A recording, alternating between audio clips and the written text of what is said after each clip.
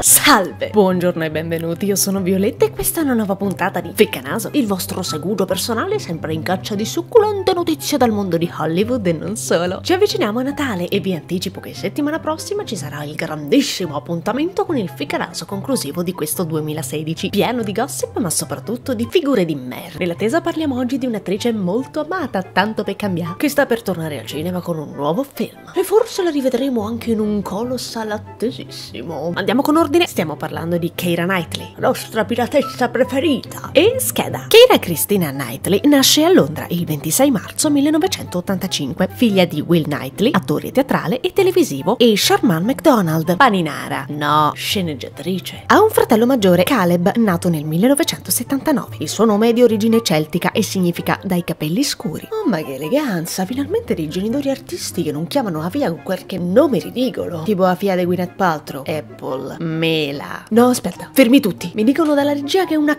cappellonata. Infatti nel 2015 durante un'intervista al magazine Elle, Keira in realtà dichiara che in realtà il suo nome doveva essere Chi era. Chi era? Oh, chi, chi era? In onore di una pattinatrice russa di cui suo padre era fan. Ma la madre commise un errore alla registrazione del suo nome alla nascita e quindi Keira invece di Chi era. Ma infatti ma chi era? Sì, secondo me la madre ha fatto apposta. Ma te pare che te mo a mia figlia gli devi dar nome da pattinatrice sexy che ti piace a te? Ma che discorso è? Ma che sei impazzito? O è così oppure so dei cafoni, tipo quelli che chiamano il figlio Michael e a registrazione ci scrivono Michael. Keira comincia in tenera età ad avere interesse per la recitazione. A tre anni chiede un agente come regalo di compleanno. Ma è uno scherzo? A nove anni esordisce nel film tv A Village Affair, a cui seguono altre numerose apparizioni. Apparizioni, tipo oh, madonna. Fino a quando viene scelta per il ruolo di Sabé nel film Star Wars episodio 1 La minaccia fantasma, grazie alla forte somiglianza con l'attrice protagonista Natalie Portman. Poi alcuni film piccoli come l'horror The Hall e la commedia Sognando Beckham la fanno diventare famosa almeno in Inghilterra. Nel 2003 il boom viene scelta per il ruolo di Elizabeth Swan nell'avventuroso La maledizione della prima luna di Gore Verbinski, accanto a Johnny Depp e Orlando Bloom. Suo esordio hollywoodiano ed enorme successo commerciale che la rivela come una delle attrici più promettenti della sua generazione. Indicata da molti come la nuova Julia Roberts, nah, nah, non c'ha abbastanza denti secondo me. Kira recita successivamente in King Arthur, Love Actually e The Jacket. Nel 2015 la prima prova da protagonista assoluta che la afferma come importante star di Hollywood, in orgoglio e pregiudizio di Joe Wright, tratto dall'omonimo romanzo di Jane Austen. Per questa interpretazione a soli 20 anni viene candidata sia al Golden Globe che agli Oscar. Altro grande film in arrivo, Espiazione, sempre diretta da Joe Wright, trasposizione dell'omonimo bestseller di Ian McEwan. Il film apre la 64esima mostra internazionale d'arte cinematografica di Venezia e le regala la seconda nomination ai Golden Globe della sua carriera. Tornerà a collaborare con il regista in Anna Karenina e dopo un paio di flop, vabbè, succede anche ai migliori, dai. La partecipazione all'acclamato The Imitation Game, dove interpreta una crittologa accanto a Benedict Cumberbatch, cosa che le permette di ricevere la sua seconda nomination agli Oscar come migliore attrice non protagonista. A breve tornerà nelle sale con Collateral Beauty, commedia drammatica che la vede accanto ad un cast stellare, ovvero Will Smith, Edward Norton, Helen Mirren e Kate Winslet. Ma nella vita privata è fortunata come nella sua carriera. Dal 2003 al 2005 è stata fidanzata con quel cetriolone di Jamie Dornan, di cui abbiamo parlato proprio negli ultimi ficcanaso. Tra l'altro è stata proprio lei a presentarlo al suo agente e quindi a farlo diventare celebre. Dal 2005 al 2010 invece è stata con Rupert Friend, uno degli attori di Homeland. Mamma mia che coppia dei maciati. Nel maggio 2012 si fidanza ufficialmente con James Wrighton, tastierista della rock band Claxons. Il 4 maggio 2013 la coppia si è sposata nella proprietà di famiglia in Provenza in Francia. Ammazza, stramecoglioni! La coppia ha anche una figlia, Eddie, nata nel 2015. E tutti ci domandiamo, ma Eddie all'anagrafe avrà scritto giusto? In ogni caso preparatevi perché la nostra Keira probabilmente tornerà nel nuovo Pirati dei Caraibi, la vendetta di Salazar, in uscita a maggio. Benissimo! A voi piace Keira? E la saga dei pirati? Questo era tutto quello che avevo da dirvi per oggi, grazie per aver visto questo video. Vi invito a passare sulla pagina di screenweek.it per non perdere nessuna cine news e di scaricare le app gratuite Screenweek TV e Screenweek Blog per non perdere i nostri contenuti ovunque voi siate. Io sono Violetta e mi trovate su tutti i social e su YouTube come Violetta Rocks oppure su